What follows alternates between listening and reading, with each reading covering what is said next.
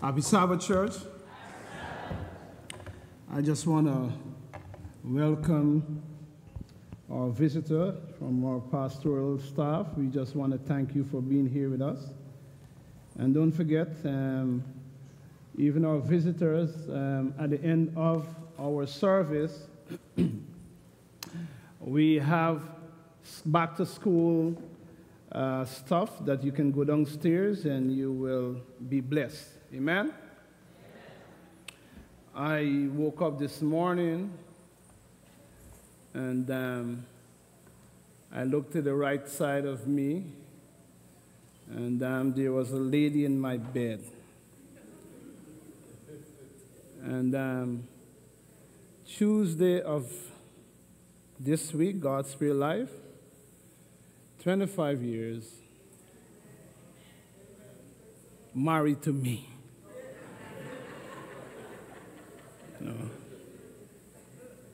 Um, I hope that I can get up 25 years more, and 25 years more, and 25 years more with the same lady in my bed. So where's Sister Brown? Sister Brown, um, not my lo- lover, Sister Brown, but Sister Brown, the deaconess. There's no chance for you. Where is she? That's, that's my friend. She's outside. It was 1992 in Los Angeles when a group of churches came together to do something about the growing problem of teenage HIV but the solution was unconventional. They got together and sponsored what they called Condom Sunday. The young people got a surprise as they entered the sanctuary that day, along with a handshake and the church bulletin. Each one received a condom as a gift from the church. When one of the pastors was interviewed and asked why did the church take this step, he gave this answer. He said, "The young people are going to have sex don't matter what we say. We might as well help them do it safely." It is a startling commentary of the state of sexuality in our society. Aside from the tacit endorsement by the church of teenage sex outside of marriage, there is also an assumption at the foundation of that action by the churches that is even more disturbing. It is the church capitulating to the power of sin giving credence to the notion that sexual abstinence is an unrealistic expectation even for Christians. It is also tantamount to say that God is unfair in his requirement and therefore unjust. We will not be surprised to find such attitude outside of the church since the predominant ideology of the culture appeared to be that sex desire is a need that must be acted on, and that self indulgence is natural while self restraint is unnatural, even harmful. That regular sexual activities is healthy for consenting adults, married or single, and that sex can be practiced even with multiple partners without risk, without consequence, as so long as you use a condom. There are 1.7 million students in Canada, colleges and universities, and most of them young people at a critical point in their adult development, yet 40% admit to having casual sex at least once, slept with someone they had no prior relationship with. Another 10% admit that they have done so at least six times, and with men, the percentage is even higher. All of this makes sense if we are just animals, subject to our drive. But if we are beings made in the image of God and redeemed by the blood of Jesus, then this pattern of behavior represents a deadly dysfunction in our society. This is an emergency and it's called for sober and prayerful attention. We all need sexual healing. Now, now you're going to be quiet. Now, today, we begin a three part series. And I want to start with two clarifying points. And these points apply to this Sabbath and the Sabbaths I am scheduled to speak from this pulpit on this topic. The first one is this this week is Youth Week of Prayer. But this message is not just for young people. So please, no one come to me afterwards and congratulate me for setting the young people in their places. The dysfunction of sexuality in our, in our society touch all levels and all ages. And I'm not just talking about adultery and fornication. I'm talking about pornography, masturbation, impure thoughts, and impure language.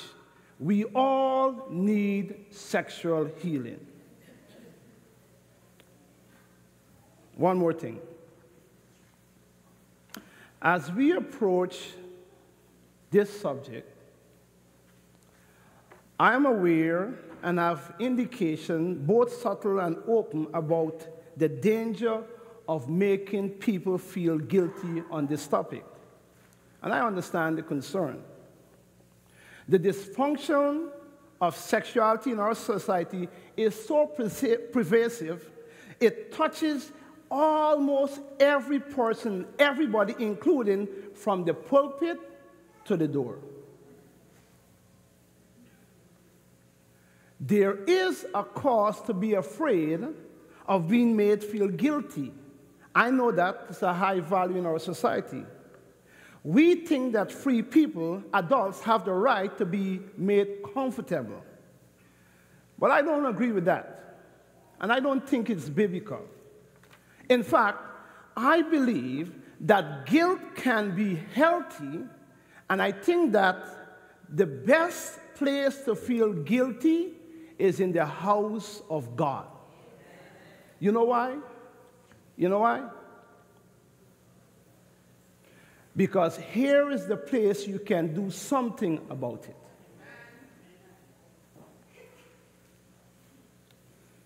So, expect to feel uncomfortable. But if you leave here uncomfortable, it's your fault because the solution to guilt is repentance. And repentance is available to everybody. Today we're talking about the elephant in the room. Let's pray. Father, we invite your presence. Remove any ideas biblical or non biblical, that we may have that is contrary to your word, and allow us to see Jesus in all his forgiveness. And we thank you in Jesus' name. Amen. Let's start with Genesis chapter 1. Sorry, Genesis chapter 30, Genesis 39, chapter 1, and I read in 6a. And I want you to read responsive with me today. You could do that? Now Joseph had been taken down to Egypt. Potiphar, an Egyptian who was one of Pharaoh's officials, the captain of the guard, brought him from the Ishmaelite who had taken him there.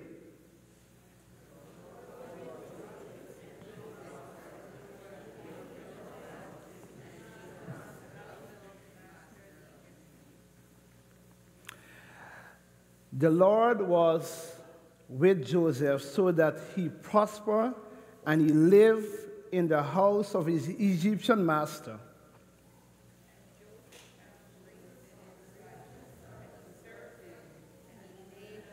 Come, stop, stop. We're not reading together. Now we start again. Please go take back the slides for me. Now Joseph had been taken down to Egypt.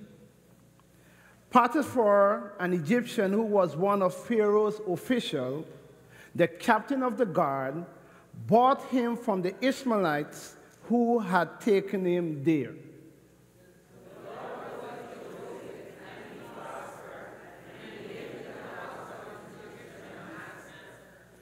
When his master saw that the Lord was with him and the Lord gave him success in everything he did,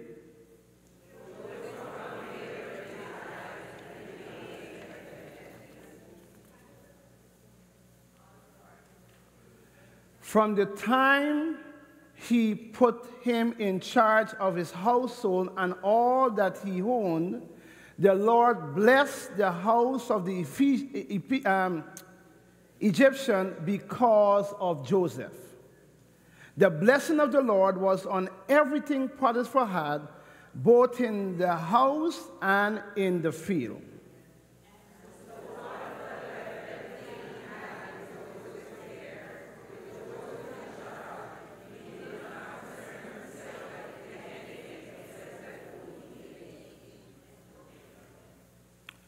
When Joseph arrived in Egypt, as a slave, he had no idea what the future would hold for him. His life had been turned completely upside down at the age of 17. He would not be going to the senior prom. He would not be graduating with his friends. He would not be visiting university or applying for scholarship. The life he had had been taken from him the day the Ishmaelite carried him off in chain was the worst day of his life. It broke his heart to learn just how much his brothers hate him. He pleaded with them not to go through with it, calling them by their names, but they steeled their hearts against him, and, and they all turned away. And Joseph was tempted to think that God has forsaken him too. The crucial moment came in the desert on the journey to Egypt. Joseph had time to think during that journey. And during that journey, he remembered the lesson he had been taught at his father's house. From a child, he had been taught to love and fear God. And now all these family worship start to come back to his mind, including the stories his father told him when he was a young man about his experience with God. Like the story of him fleeing his brother Esau, of the story of him wrestling with the angel all night, of the story of the ladder that reached to heaven and all the way back. It all came back to Joseph's mind. And Joseph made a vow, as his father had made before him, to give himself fully to the Lord. He stopped feeling sorry for himself and placed his life in the hands of the, of the keeper of Israel. He asked God to be his God in exile and to help him to be faithful. Joseph consecrated himself to God, and as he entered the service of Potiphar, determined to be faithful. The Bible says he quickly distinguished himself until he became the head of his master's house. Things are now turning in his favor. But the greatest test is yet to come. The defining moment of his young life, and as it would turn out, it, would, it is going to be a test of sexuality. Genesis 39, verse 6 to 10. Now Joseph was well built and handsome. And after a while, his master's wife took notice of him, of Joseph, and said, Come to bed with me. But he refused. With me in charge, he told her, My master does not concern himself with anything in the house. Everything he owns, he has entrusted to my care. No one is greater in this house than I am. My master have withhold nothing from me except you, because you are his wife. How then can I do such a wicked thing and sin against God? And though she spoke to Joseph day after day, he refused to go to bed with her or even to be with her. I want us to notice in the detail of the story how everything comprised to the disadvantage of Joseph to keep his promise to God. First of all, he's a teenager at the height of his sexual power, with hormones raging through his body, and an alluring, attractive woman appealing to him. Nature was against him. Second, he's a slave in, the, in, in, in a foreign land. He knows not the language nor the people. He has no right of his own. He is a victim. Surely he is due to some comfort and indulgence. Circumstances are against him. Thirdly, he does not approach her, she approaches him. And she comes to, at him repeatedly. He is under our roof. She is his boss's wife. Surely God would understand. And finally, no one have to know no one will even find out secretly. Secrecy. Joseph has good excuses to break his vow, better than the ones we give to ourselves. But with all that is against him, he takes a principled stand the Bible says not only does he refuse to go to bed with her, he refused to even be around her. He does not say to himself, maybe I can touch her and let her touch me and still technically be a virgin. It wouldn't come.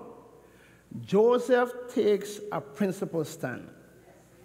Look again at his reasoning Genesis 39, 8 to 9, our scripture. With me in charge, he told her, my master does not concern himself with anything in the house. Everything he owns, he has entrusted to my care.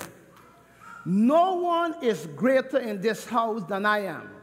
My master has withheld nothing from me except you, because you are his wife. Then listen to this. How then can I do such wicked thing and sin against God? Now, I want to talk to you about the character of this young man. The characteristics that enable him to hold on to his faith, follow his conviction, and keep his vow, even though he was under these circumstances. And the first thing I want us to notice is the characteristic of integrity. Joseph had personal integrity. And that word is defined as a form of adherence to a code of principle, or moral principle, or realistic value, or incorruptibility, incorruptible, or anything um, bribed or morally corrupted. That's one way of thinking. And as a Hebrew youth, Joseph had been trained to live by moral code to guard his virginity. As a matter of principle, Moses' law contains warning against idolatry and sexual impurity, and Joseph had been taught these laws. But so often, we find legal restraint is inadequate to keep us. And so, even more meaningful is another definition of integrity that derives from the Latin root of the word. It's built on the word integer. It means having the quality of being undivided.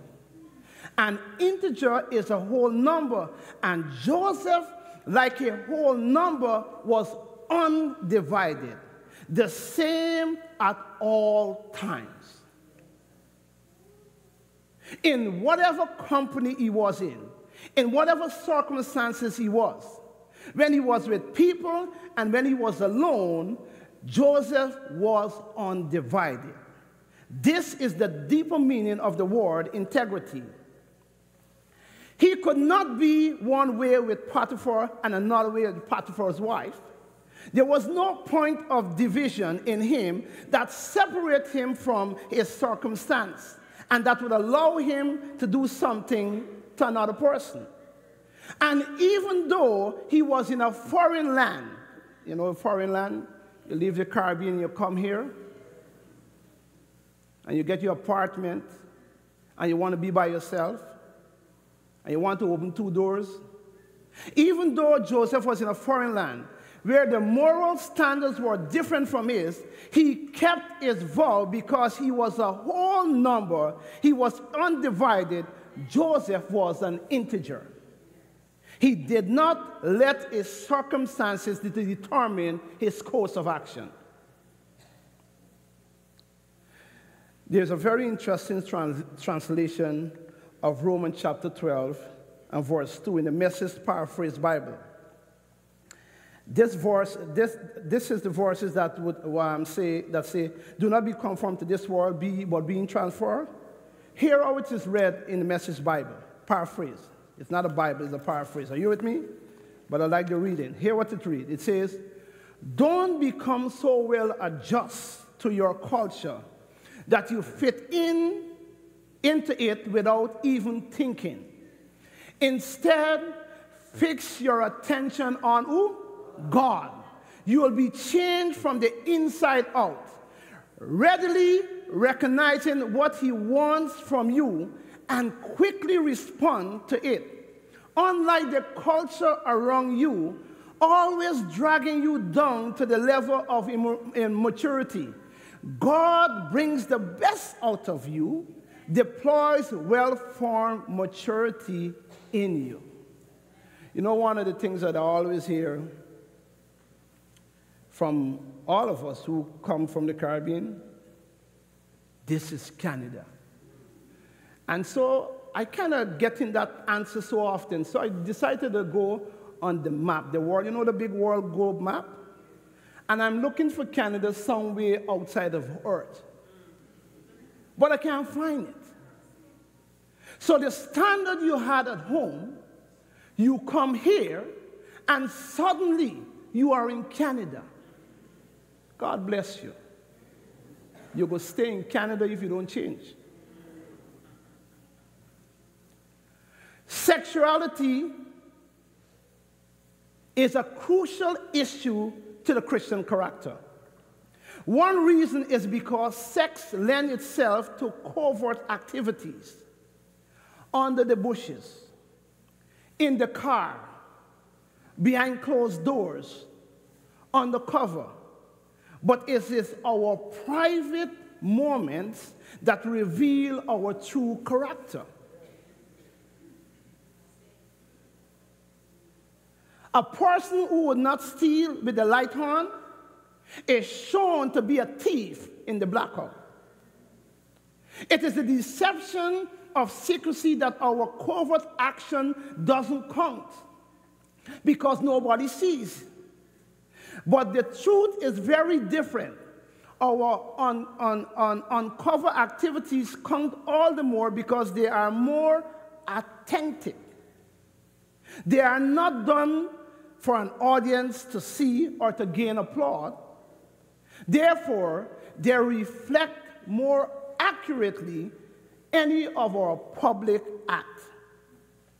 The true nature of the inner life, our relationship with God, who alone sees all our covert activities, including the one we think we are hiding from God.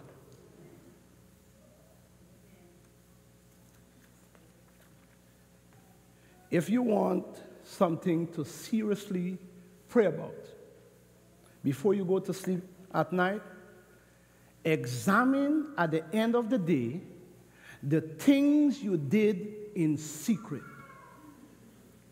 the private viewing, the hidden motive, the sideway glances, the whisper conversation, and then strive in your life for integrity the same way all the time. Proverbs chapter 11, verse 3. The integrity of the upright guides them, but the unfaithful are destroyed by their duplicity. duplicity. Proverbs chapter 4, verse 23. Above all else, Guard your heart, for it is the wellspring of life. You know, years ago, from the White House, we saw from this country what played out on the world scene. What happened to the, even the most powerful man when we do not hold our integrity? If President Clinton had been the same person in the dark as he was in the light, he would have never have engaged in secret trysts with Monica Lewinsky. Integrity, the same at all time. That's something to pray about. Matthew chapter 5, 27 to 28, Jesus talking. Jesus is a reinterpretation of the law. Talks about the spirit behind the seven commandments in, in these verses. Let me just read it for you. I want to take you somewhere. You have heard that it was said, Do not commit adultery. But I tell you that any man that look at a woman lustfully has already commit with her in his heart. If you want to pray about something, pray about integrity. Apply it in your life. Now, I want to talk about chastity. Chastity. Purity of thought and action. Purity of conduct and intention. That's both inward and outward. It's an inside outward. Chastity comes from within and would not be corrupted by anything from outside. It was not the fear of discovery that made Joseph refuse his master's wife. It was something deeper than that. He had pure intent. Joseph was chaste. Chaste means pure thought and action Purity is greater than virginity. We may be celibate, but still have impure thoughts. We can preserve our virginity, technical, and still engage in immoral thoughts and immoral deeds. The commandment of God is more than a list of rules, each command expresses a divine principle. The command is a statement of the world's violation of that principle. And the principle behind the seventh commandment is not virginity, the principle is purity.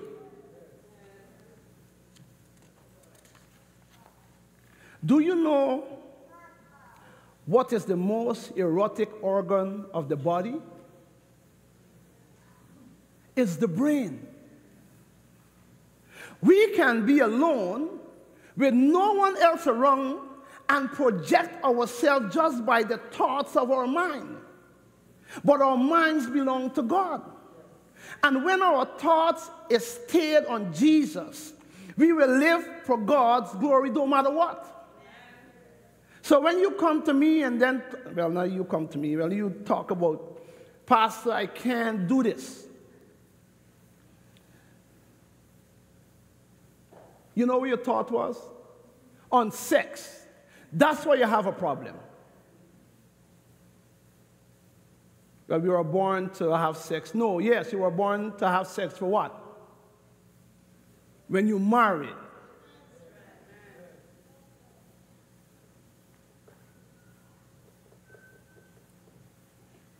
And by the way, by the way, let me say this to you as Christian. The biggest problem we have in this world is know.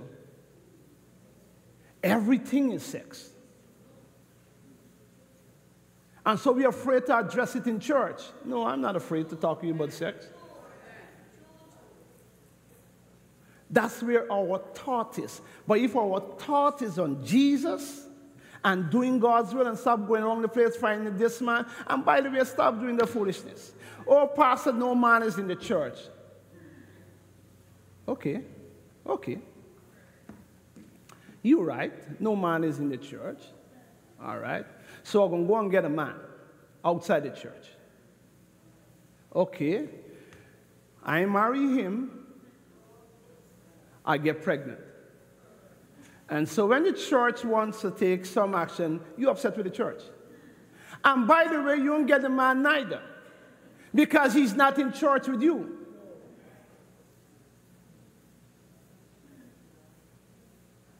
You don't get the man neither.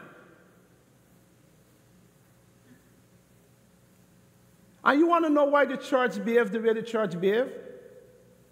And the people in the church always have some concern, some problem. Your problem is not with the church, your problem is with yourself and Jesus. That's your problem. And by the way, by the way, let me just talk to us who are from the Caribbean, and probably most of you here. Let me just say this to you. You know as well as I know that when you get pregnant out of wedlock, you have some sort of shame, you know. You, you, you, you don't want, you don't even want to come out of the house. Today, nobody care nothing. Nobody care nothing. And if you say something, they're upset. Well, go catch a fish and eat it. No shame. And not to me or to the church, but to God. My aunt tell me a story. She was working, got pregnant out of wedlock. Can't go to work and let the boss know. You know what she did? They used to tie so the baby can't show. And every time the boss come around, she's trying to do something else. And when she get the baby, she send the baby away for somebody else to mind the baby. Because people had some kind of shame. Today, and that's why every baby I dedicate, I'm talking to you. I don't care who you are, church member or not, especially if you're married.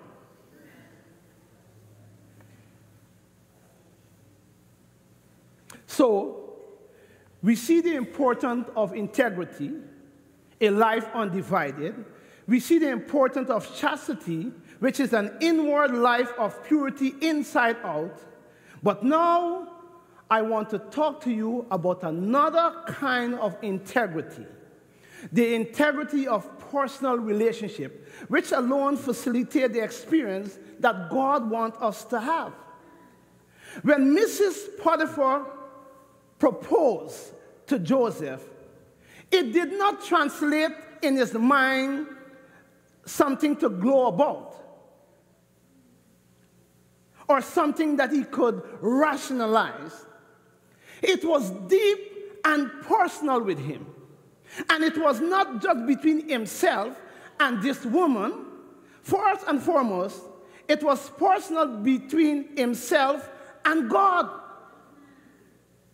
When she propositioned him, his reaction was, How can I do this to God?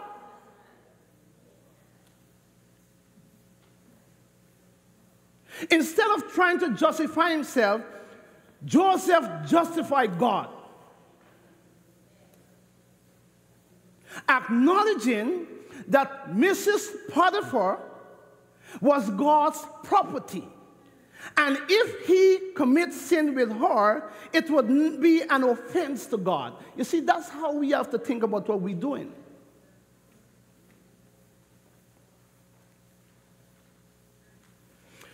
Joseph never, you hear what I just said to you? Joseph never viewed himself or others in isolation. And, as, and though he, we belong to ourselves, he saw each person as connected to God and precious in God's sight.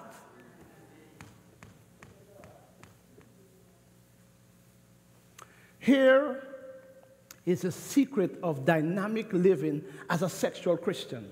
A Christian with sexuality. All too often, we reduce our sexual behavior to a set of rules, a legal arrangement by which we order our life. And we all know how legal arrangements are. We can always find a loophole. Sometimes believers live their life entirely based on loophole, trying to get by living as close to the world as possible.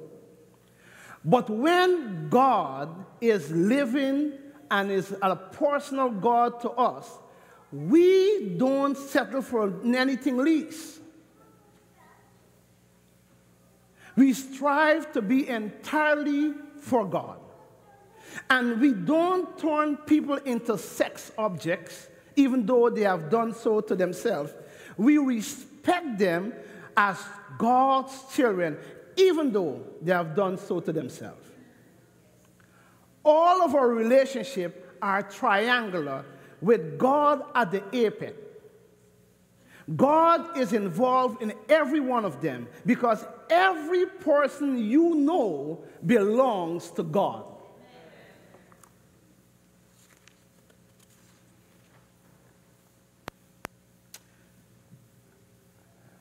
They try to say in the sacralizing of the gospel that there must have been something going on between Jesus and Mary, who had been a harlot. They misconstrued the relationship based on their carnal assumption. They say Mary loved Jesus so, so much and that they were both single, they had to be up to something. And they tried to turn our Lord into a sinner. You know, we would say almost anything to justify ourselves. We would even make God a liar. They misconstrue the gospel. They sacralize it. Do you know why Mary was so devoted to Jesus? It did have to do with something with sex. You know why? Do you know why Mary was the last one to leave the cross at Calvary? She was the only one who thought of anointing Jesus for his death. The last one to leave the cross at Calvary, and the first one to reach the tomb on Sunday morning. You know why? Because Jesus was the first man who has ever, who she has ever met, who did not treat her like a sex object, even though she was an harlot. He did not look down on her and he did not lust after her. He respected her like a daughter of God. And his forgiveness and respect enable her to respect herself again, to feel like a person worthy of God's love. No wonder she loved him so much. Because Jesus treated her like a daughter of God that she was. If we, hear me now, would have that same consciousness, triangular relationship, all our relationship triangular, we would never treat people like less than they are. And that would keep our sexuality to ourselves too. Okay, Pastor. So I had all these sections and do all these things. What's going to happen now? Well, re virginity. How to get your virginity back. What's going on? Pastor, your therapy or what? How to get back your virginity. Let me read the text first. Proverbs chapter 23, verse 30. He that covet is sin shall what? Never prosper. But whosoever confess and forsake them shall have mercy. Getting back where God wants us to be sexually. The place we should never have left. And by the way, by the way, by the way, let me clear this up for you. Virginity is not a word in the female gender. Virginity is a word for both male and female. Hello?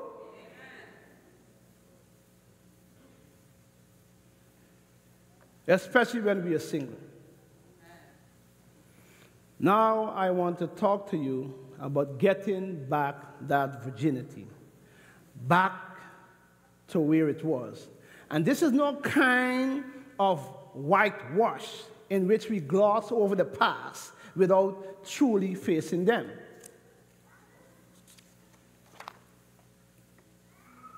And if what I say make you uncomfortable in church today, and it is, it is because we have to face our true selves before we can get right. We have to face it because God's word is true. Psalms 51, 1 to 4, and 7 to 12. You will recall that this is a passage that give the account of David's prayer after his sexual sin when he sinned with Bathsheba and also murder her husband. David poured out his heart to God. I want to read verses 1 to 4. David said, Have mercy on me, O God, according to your unfailing love. According to your great compassion, blot out my transgression. Wash away all my iniquity and cleanse me from my sin. For I know my transgression and my sin is always before. No dodging, no dodging. David is saying, God, I know. David said, I know my sins.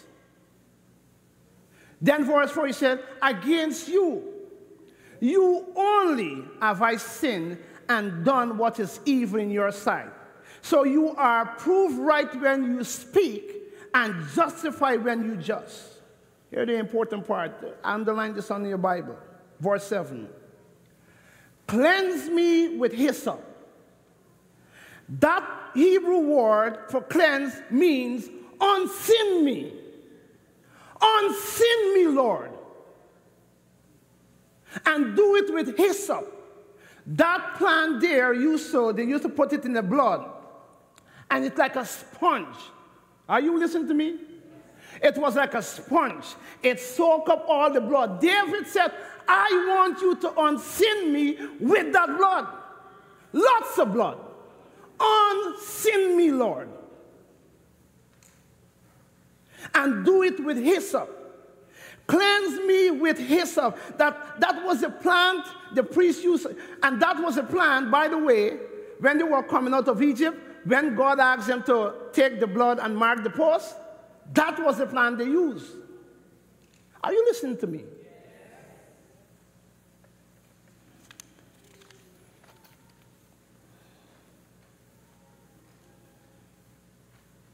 Cleanse me with hyssop, unsin me, and I will be clean. Wash me, and I will be whiter than snow. Let me hear the joy of gladness. Let the bones you have crushed rejoice. That's the conviction. Let the bones you, the, the guilt, God brings that conviction to us. He is the one that crushes us down with guilt because He wants us to repent. So David said, Let the bones you have crushed rejoice.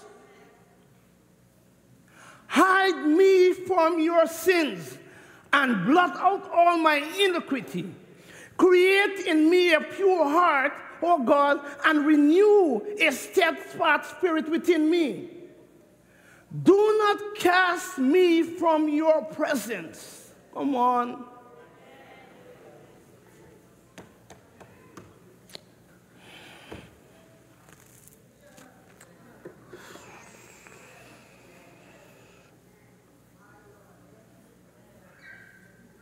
Don't take your Holy Spirit away from me.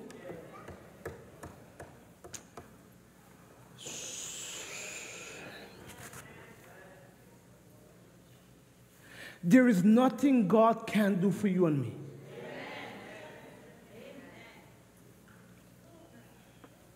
Restore to me the joy of your salvation and grant me a willing spirit to sustain me.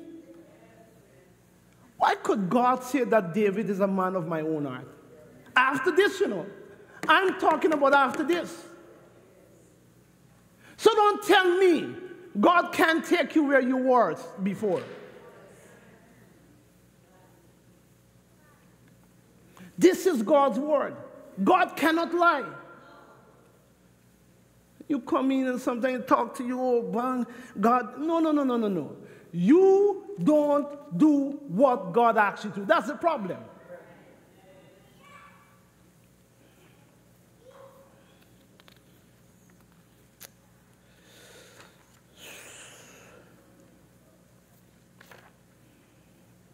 That's the answer. On, on sin me and do it with hyssop. By the way, next week, we have communion. You want to be clean? You want to make right back with God? After today, you better come next week. You think, you know why? You know why people don't know God? It's because of you and me. Because we don't believe God is powerful.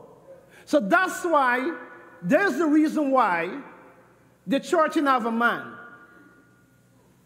Because you want a man. Did God tell you give me your man? Did you ever ask him?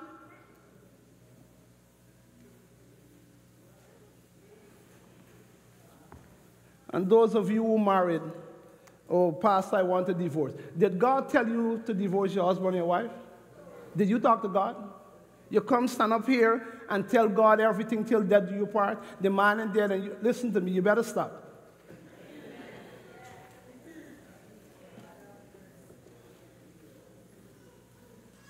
This is the answer. The answer is in Jesus. We have to look to Him only, the only one who can bring cleansing. Don't look to the world to, for justification, only look to Jesus. Let's start right here and accept God's evaluation of my sexuality. My sex life belongs to Him. You know, something. Um, I have it for my next sermon, but I'm going to do, because I have two more on the same topic. I'm going to read something to you. As for all of you who, hear what Ellen White talks about in Adventist Home, page 160. I think it's 160. She said, hear what she said.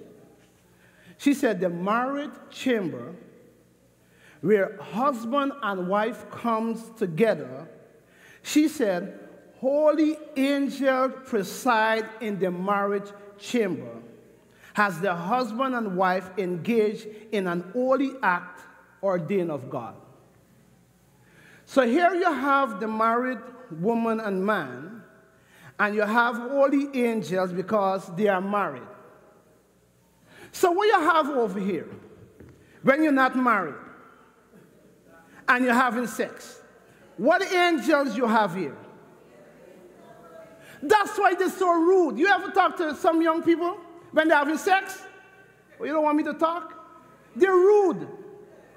Soon as they're feeling up, feeling up, they get big, they want to talk to you anyhow you want. It's not happening in my house. Soon as they start to have sex, because guess what? Guess who is presiding over their sex act? The devil.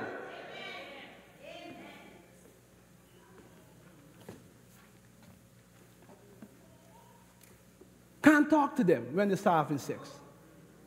Because it's not holy. It's not holy.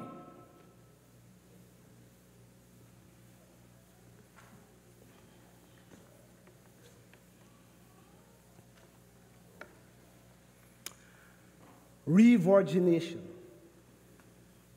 is a command to consecrate to God from this day forward all of our intimate expression of my sexuality, both inward and outward. No sex without God.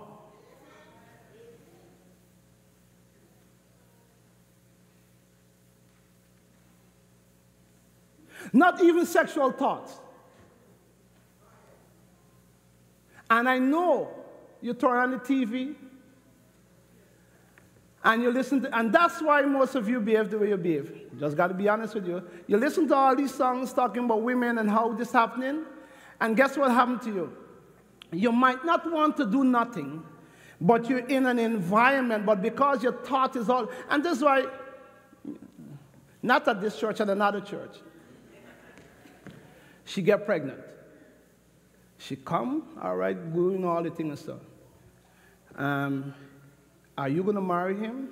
No, Pastor, me not married him. Why you had sex with him?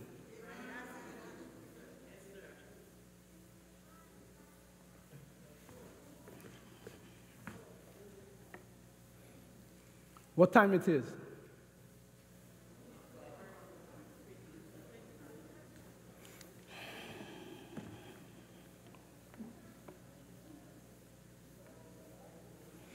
If I am not comfortable to do it in the presence of God, I'm not going to do it. If I'm a single Christian, it means that I would keep my sexuality for God until He put me with a person He had chosen for me. He has, you know what I just said? He has chosen for me, or until Jesus comes whichever comes first. If I am married, if I'm a married person, it means I will keep my sexuality for God by being faithful to my spouse, both inward and outward, as my unique sexual partner until death or until Jesus returns, whichever comes first. Love you. Well, guess what? God said, if I don't tell you, your sin's going to be on my shoulder. And this, this shoulder too small. Elder can't even, elder, me want elder to rest your head here. Too small. It is a commitment to God, a vow, like Joseph made a vow. And one thing we know for sure, it is something we can never do on our own, but Jesus will help us. He will restore our sexual integrity and our sense of self worth. All to Jesus, I surrender. As I was doing this, I just want to talk to you one more on one more thing. Hebrews chapter 8, 7 to 12. And, and, and this is one of the greatest things of Jesus, or what Jesus was trying to teach his disciple and teach the children of Israel and just teaches us too, is this. And he, he, want them, he want to take them away from the technical part of the law because they were only with keeping laws and, and, and, and bringing hundreds and hundreds of lambs spilling blood all over Jerusalem. No change of heart. Jesus was trying to teach them, as he does today, that there must be an inward commitment that would then affect the outward life. You have to do something. So he introduced what is to be known as the new covenant. A new covenant, not based on regulation. So, so look at it Hebrews chapter 8, verse 7. Listen to me very carefully, church. Love you. Hear what Jesus is saying.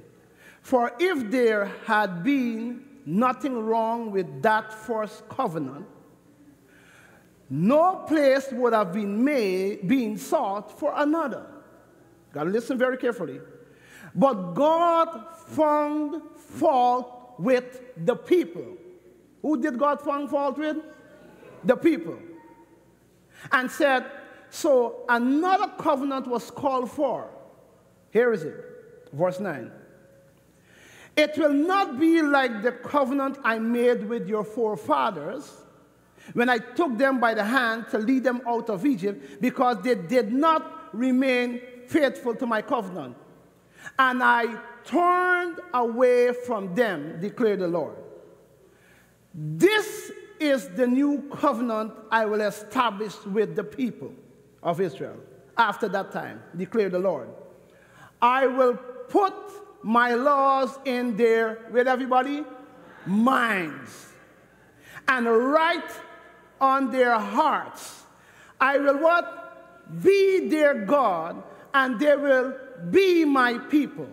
No longer will they teach their neighbor or saying to one another, Know the Lord, because they will all know me, from the least of them to the greatest.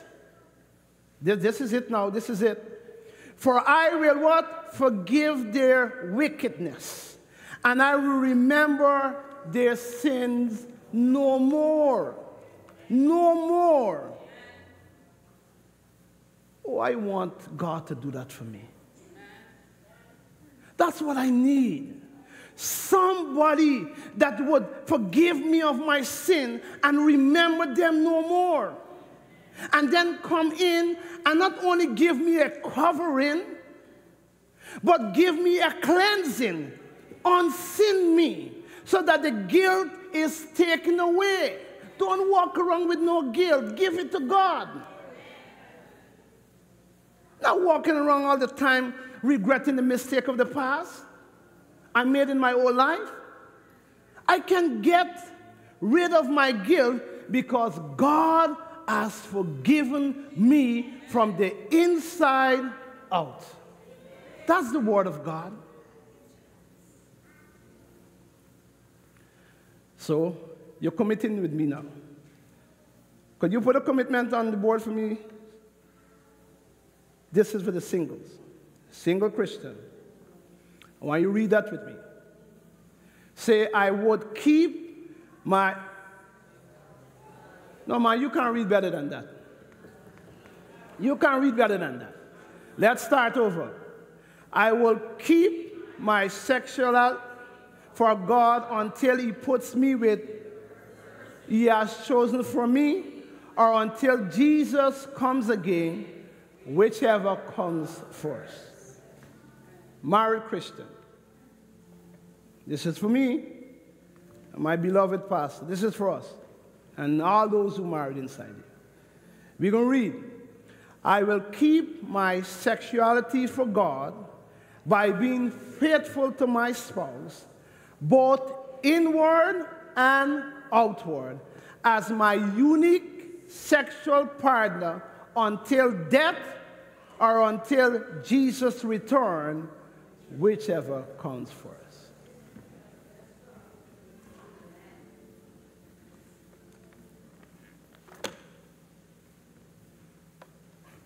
I'm going to pray.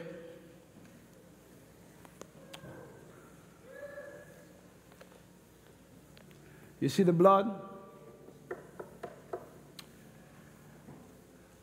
Invite you next week, all of you. Come next week, give it over to God, and let the blood of Jesus cleanse you. Stand with me. Stand with me.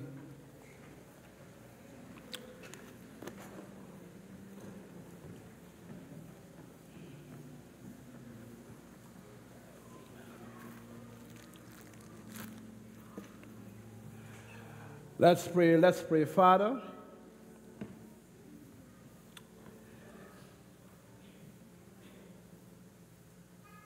we understand that you are indeed a good God. We know, we are aware, oh Father, that you want us to be right in your sight. And so, Father, you also want us to have a triangular relationship one with you, and one with man, and one with ourselves.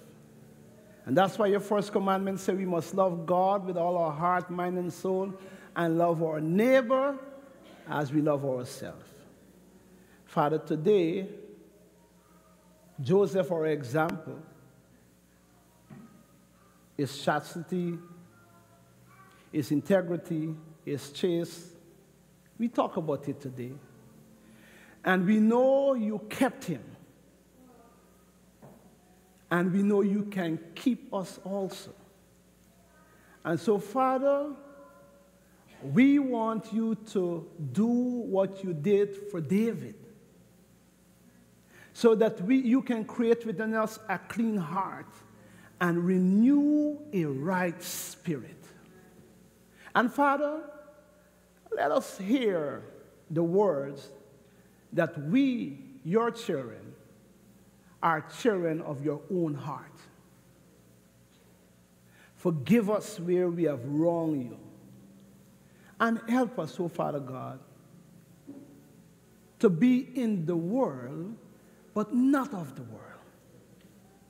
Help everything we do bring honor and glory to your name. Remove those numbers from our phones that need not to be there. Remove us from those conversations, those houses that we need not to be in. And help us. Help us, Father, as we go through this life, help us to be faithful to you. We thank you so much for the forgiveness of sin. We thank you for Jesus.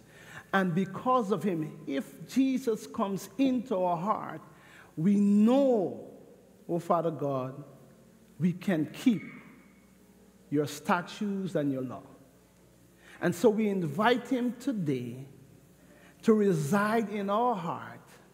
Let the Spirit have his dominion over the flesh so that we can be ambassadors for you and live for Jesus. Bless us, continue to guide, and we thank you for all you have done because we ask all these things. In Jesus' name we do pray. Let everyone say, Amen. God bless.